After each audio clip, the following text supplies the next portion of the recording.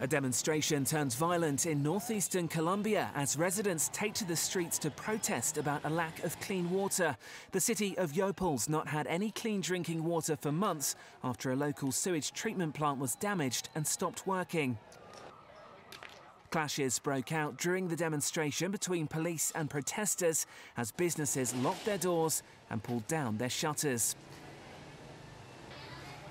Rocks thrown by the protesters were met with tear gas fired by police. In order to cause maximum disruption, protesters formed blockades at key points throughout the city, including the airport. By the end of the day, community leaders were making progress in their talks with the government over how to solve the problem.